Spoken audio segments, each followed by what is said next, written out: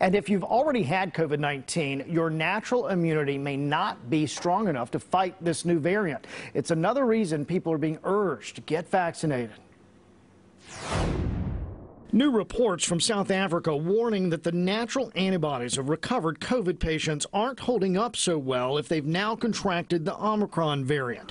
Scientists now trying to figure out if vaccines face the same challenge of stopping infection. Well, hang on, if those natural antibodies are not binding very well, what about the vaccine antibodies that are targeting the same place?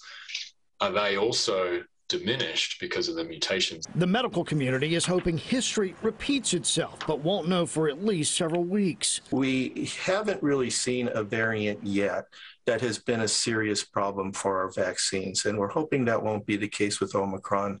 Um, but again, because there's so many additional mutations, we just have to wait uh, to get those answers. As for early indications that Omicron symptoms are mostly mild, those patients have typically been younger, the same age bracket of those who don't typically get very sick. It's only when you get to really analyze a variant like this over many more thousands of infections and look at the way it impacts hospitalization, look at the way severe cases take place uh, that I think we'll learn how to address the question of severity. Which brings us back to why doctors say to get vaccinated and boosted, whether you've had COVID or not. In a majority of cases, the uh, immunity, the natural immunity that's provided by infection is not very strong. And in fact, what we know is that it's far weaker than the immunity that the vaccines give you.